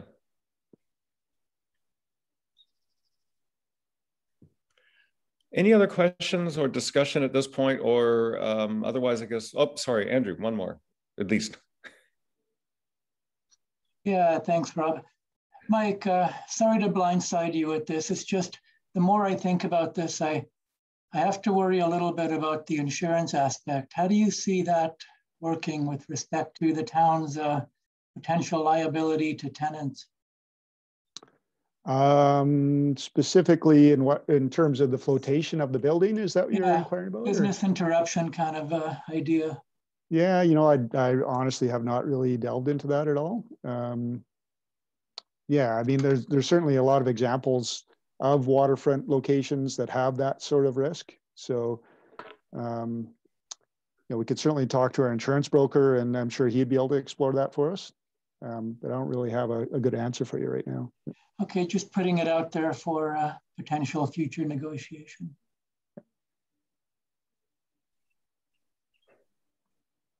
So, Mr. Chair, maybe uh, I just uh, maybe look to staff. Uh, would we like a motion to receive the uh, presentation? I know we've got uh, more to proceed here with the staff report and uh, a recommendation there. Um, but in, in the interest of, of time here, uh, about half an hour left, did you want to see a motion, I guess, through to, to Randy or Jen to receive this for information at this point? I, I think it would be, I know we have a separate uh, recommendation associated with the staff report, uh, Councilor Rintoul, but I think, uh, yeah, motion to receive the presentation just so we have it uh, documented that, uh, I think that would be, that would be helpful. Thank you. So I'll move receipt of the presentation for information. Second. Everyone is happy, then uh, so be it. And then, yeah, in the interest of time, unless there's anything else, maybe we should move on to um, to the staff report, which is item six on the agenda. Yeah, and I guess uh, we can thank Mike for his time as well. Uh, I'm sure you're, you're welcome to sit in if you want, Mike, or watch it later. But uh, thanks very much for uh, the presentation. I thought it was excellent. Yeah, thanks to everybody. Appreciate it, and uh, thanks thanks for your uh, your answers to my questions. I, I do appreciate those as well, and thanks for the time. Yeah, greatly appreciated, Mike. Thanks, Mike. Thanks, everybody. So if we move on then to item number six, uh, some, um, was it Randy or, or, um, or Andrew, one of you two, I think is going to introduce the actual report. Did, did you want to speak to speak to the sort of the financial elements, Andrew? And I, I know we sort of summarized, or I summarized this um, sort of elements of this for the um, for the committee at the last meeting, but uh, maybe just some of the financial components, if you don't mind speaking to, and I can um, I can jump in on some elements as well if uh, if that's helpful. Sure. So the bottom line here is, while we were hoping for a greater financial contribution towards the town costs, that hope wasn't really based on reality, more of just pure hope. For me, um, the fact that we get, let's say, a 20% contribution to the town's overall cost of doing this, uh, I think is valuable. But what to me is the bigger uh, contribution is them project managing this uh, for us. And having a vested interest doing that is really invaluable. If, if the town were to take this on and look for a project manager, which we would have to do, you're always uh, rolling the dice with whoever you get and how invested they are in the outcome of the project beyond you know, just getting their final payment. So to me, in addition to the 20% uh, contribution financially, there's that additional intangible in terms of what they can bring and bringing the town's overall cost down. So I've, I've made some projections here for what um, the total cost might be, and that's based on the SNC numbers. SWP thinks they can bring it in on the lower end.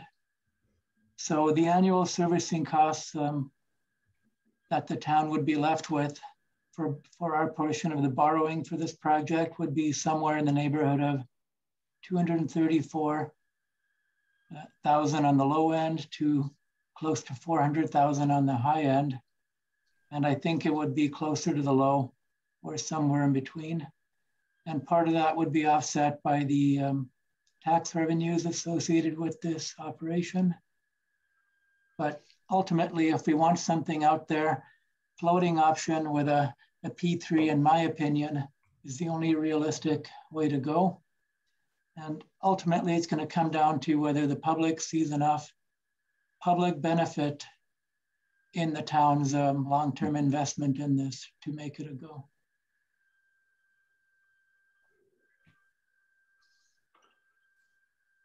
Yeah, if I can maybe just um, just jump in and just um, just quickly um, add to um, Andrew's uh, Andrew's comment. Um, I guess one of the things that I struggled with when we were thinking about um, the P3 option was sort of reconciling the whole uh, perspective of what is a, a public-private partnership, what what does a P3 look like, and uh, what you know, I guess what's the what's the value of a municipality entering into into a P3?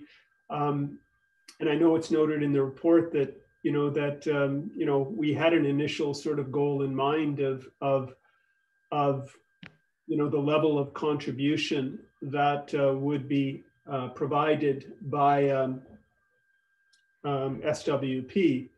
And, um, you know, it was in the sort of the higher 40 to 50% sort of range of overall project costs.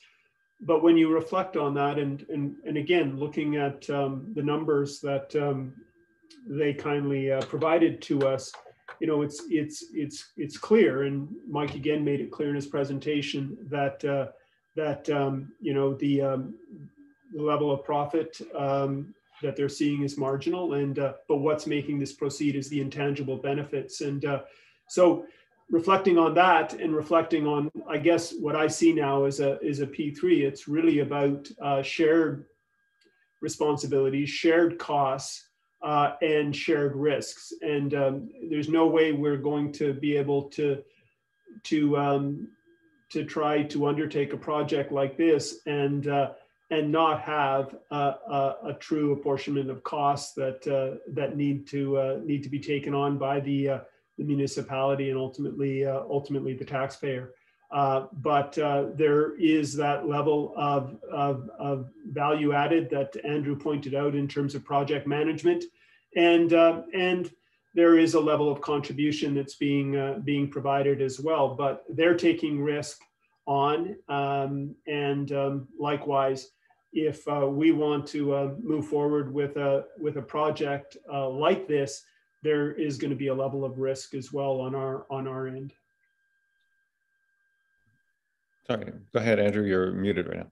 If I can just add, one thing I haven't worked into the numbers is um, the positive impacts around extending the the um, the seaport lease, um, mm. the, the, ground lease. Uh, on the um, on the site where the the distillery is. So they they would renegotiate that to begin at um, today's market rents, which would have a slightly positive impact for us, but also the additional investment they would undertake there would certainly add to not just the, the vibrancy for, uh, for the community as well as for their own benefit, but it, it would lead to additional tax revenues for us. But at this time, it's not factored in. It's just one of those intangibles that uh, will apply to both parties. Yeah, he did mention, didn't he, that um, one of the leases, I guess, like the Rum Runner, was coming up soon, and that that was a building that was something that they would like to see improvements made to, and that's what you're getting at, right? All of that aspect of things. Yeah. Yeah.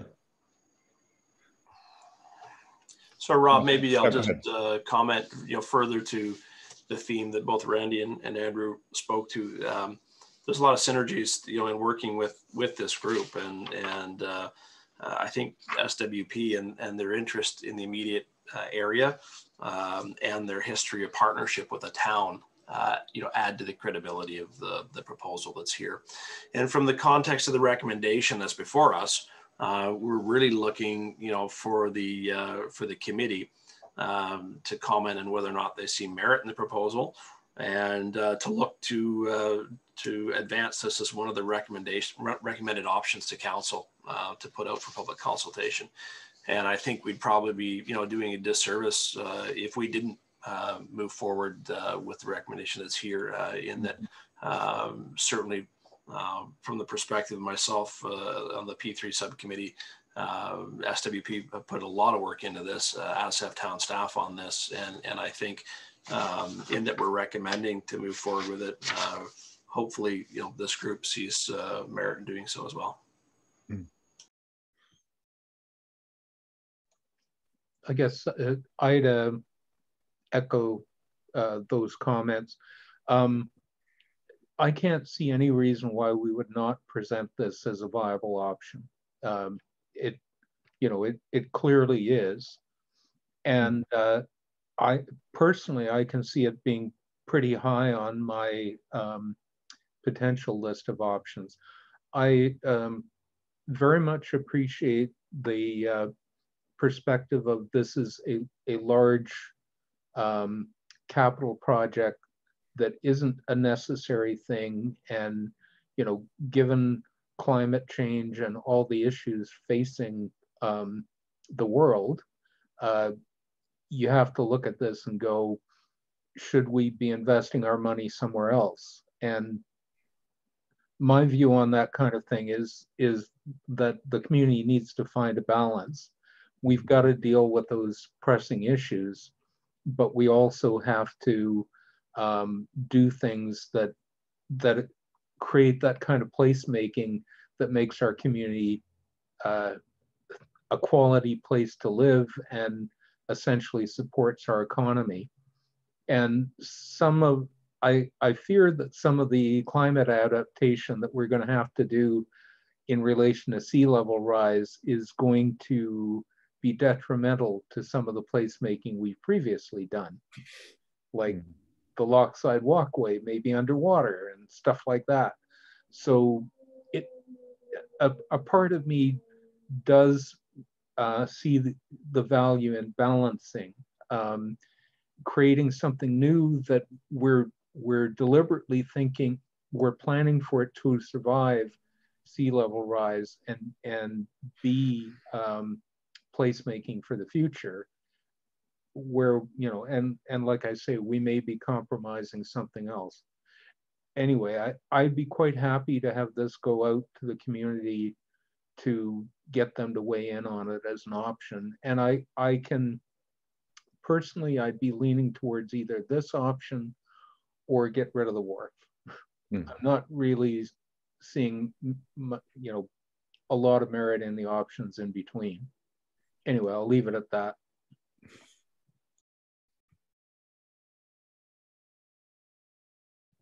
Actually, just uh, one thing that um, Scott, you and I were talking briefly earlier today about um, that one of the things that it says here quite strongly, and I think it's the first time we've put it in writing, and I have no objection to it myself, but it's just maybe worth noting that really the floating wharf is that we say is the only remaining viable option for wharf replacement and I think we've concluded that on the basis that uh, the rubble options or even the piled options, because of a building, there's no point in putting a building on something without a without a partnership such as this, um, rules them out. And we've basically, instead of getting at it through a couple of steps, this is the first time we've basically said outright, uh, to my recollection, this really is the only thing other than getting rid of the wharf completely. I think we, I think that's something we, I think that is something we did reach. Um, Randy or Andrew, see, you're smiling a little bit. I, I just wanted to, uh, yeah, I mean, um, I, I, apologize a bit because I think we staff maybe took some some liberties there by um, incorporating that uh, that um, that element into uh, into the uh, into the staff staff report and uh, because you know um, I don't think it was ever uh, formalized um, uh, through the committee, but I, I think there were I think what we heard were were some discussions around uh, around moving in uh, in that uh, in that uh, direction. So um, um, again, we we did take some some liberties there. So I apologize for that. But but again, um, even though it wasn't formalized, we we we thought we heard heard that through some of the discussions. Thank you.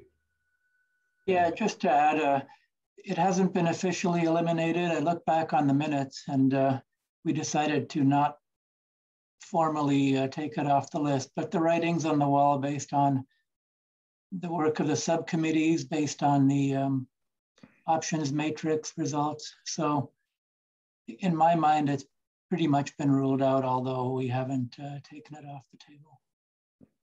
And this is just a report to this committee. What goes forward to council the entire committee will have to uh, sign off on. So you won't have right. those uh, pesky staff members putting words. No. well, I think actually we've got it flagged as the next meeting is the one where we were going to go through more of exactly what uh, the public consultation list looks like, which would where we can circle back on the uh, piled option, which is which I believe is still officially was there, but yeah, we'll we'll circle back on that one next week, I guess.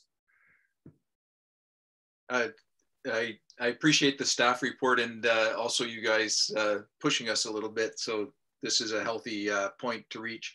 One thing, Andrew and Randy, I'd like to ask you about is I'm not wildly comfortable with the uh, variability in, in the estimated cost from 4.3 to 7.4 is quite a range. Um, I'm just one, and I, I suspect I can understand why you have that range. There's the contingency factor and the the statements from um, Seagate that they might be able to come in under budget. But um, I just wonder, do you do you feel comfortable with that wide range, and are there steps that we could take uh, that maybe narrow the range? And the second uh, general point I would make is I think that the phasing of how we would envisage this private partnership, private public partnership evolving, and especially when, like I tried to explore that with Mike, but you know, what parts do we advance before we move to the project management sh shifting over? I, I, think that's pretty critical, especially to keep the costs down. Uh, you we want to be really thoughtful about how we transition through the handoff really to the project management side of things. So uh, I guess two questions back to you both. Uh, can we do make some progress to narrow down that wide range in the costs and do you agree this sort of project management and phasing is something that maybe we should talk through a little bit more in detail? Let me start, if you don't mind. Uh, at this point, I don't think we have the basis to narrow down the costs. I think that kind of thing would follow as we uh, go further down the road. So there is a draft MOU which is meant to form the basis of a future agreement, but neither party wanted to take it too far until the committee and um, and then council sees enough merit in this to uh, take it to the next stage.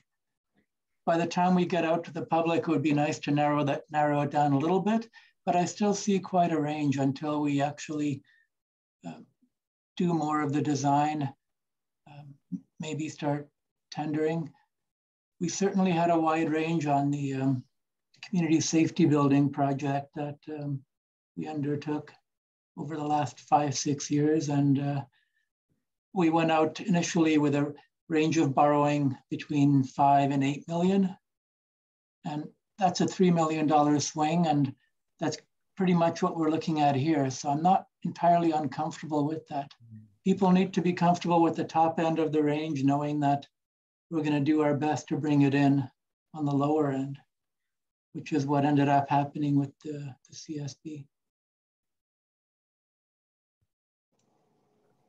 Yeah, and then I think in terms of in terms of um, uh, sort of a phased approach to project management and uh, and you know how we're going to uh, transition uh, to uh, sort of the next stage and and again we're assuming that you know we get through consultation and and um, it's positive and uh, council resolves to to potentially move forward. Um, I mean, again, MOUs are are are just broad framework documents, and and and really the next stage is is is where we would have to get into some real um, more a lot more detail, quite frankly, on on um, on what the structure is going to look like, um, what the uh, um, what the true apportionment of costs are going to look like for each of the parties, and um, you know, and we've we've um, we've been fortunate that we've we've worked through um, we've worked with Marker SWP through the uh, through the hotel uh, component. I mean, we had uh, I think that one involved at least um, three or four agreements, uh, and um, uh, they have a very experienced solicitor um, that uh, they work with. We have a very experienced solicitor that we work with when we're dealing with these kinds of uh, arrangements, and we would uh, we would certainly want to work closely with uh, with the lawyers in uh, in crafting something that uh, fundamentally is going to be detailed enough to provide us a high comfort level moving forward. Because there's a lot of there's a lot of you know I's to dot, and there's a lot of T's to cross. Uh, you know, if we're going to like I said, advance this to ultimately construction phase. Thank you. That's reassuring to hear that history and those those that advice. Thank you. Um, just uh, I thought Jen had her hand up for a second oh, there. Sorry. Well, just she's, she's fine. Okay, Peter, go ahead. A thought that popped into my mind. Um, we probably need to do a zoning amendment uh, to allow this. And are we going to have to do an OCP amendment too? I'll let Allison weigh maybe in on this one. yeah. Sure. Yeah, the property is zoned public utility here. I'm just going to pull that up and take a look. Um, hotel use isn't permitted, so that we would have to rezone in that area for that.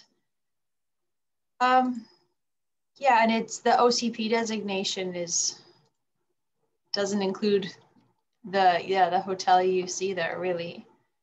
Um, so so yeah to, to be technically correct we would have to change the zoning of the water lot to allow those uses to happen. Maybe we should refer this to the ocp um, process as well. Because if they're talking about changing map designations in the ocp might be timely to include this. Yeah given that it won't be happening for a while until the new OCP is in place. The uses won't be constructed before the OCP is adopted. There's there's time to roll these changes in. But if we undertake public consultation, like was previously discussed in terms of the timeline for this project, that's happening before the OCP is done. So there is time to include that.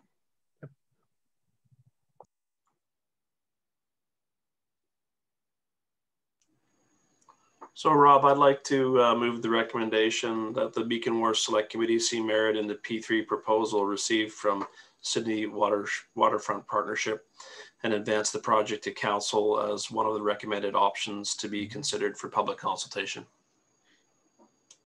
Is there a seconder? I'll second. Okay. Is there anyone uh, not in favor of that? Then I guess that is moved and uh, approved.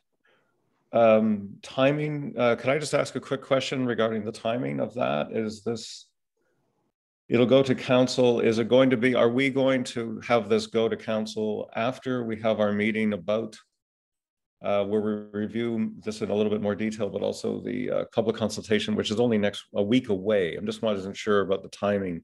If we're going to have our meeting next Wednesday and then all of this would go?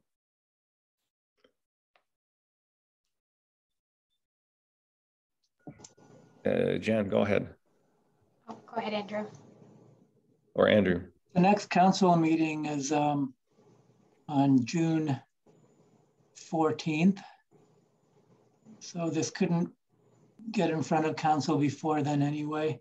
Uh, Right. I guess it'll de depend on um, how quickly the meetings from the second can be put together. Uh, I Yeah. personally don't see an issue with uh, the minutes of this meeting and the recommendation moving forward before our final report, but it's just my opinion. Okay, just but thinking out loud about the fact that we we requested this meeting, and, and thank you, Randy, and everyone for organizing this meeting uh, separate from next Wednesday. That was partly on the thinking that next Wednesday we were going to try to stay on a track of getting things done in June, as I recall. So it would be great if we can aim for that. Um, we'll get an agenda out obviously for next week. Just was curious about the timing of this, but but thank you, Andrew. Sorry, Randy. Yeah, this um maybe I just um ask ask um the thoughts of uh Councillor Wainwright to Rintoul and and and Duncan. Are you do you think there would be um uh, value in all of council uh, receiving um, a similar presentation from uh, Mr. Conquest regarding his proposal? Um, certainly, we would look to have an accompanying staff report as part as part of it uh, from the from the committee. But uh, um, yeah, I'm seeing nods on presentation. Yeah, I would think it'd be valuable, but I but I think it should be um, you know part of the overall um, recommendations that we're making to council. I don't think this should come ahead of you know the, the bulk of our recommendations. Would be my advice. So I know we've got a meeting uh, next week. I think we'll take some steps there to maybe formalize, and we've already set out a timeline, as as Andrew noted, to uh, come before council. But a presentation to accompany uh, at that time, I think, would be very helpful. Okay.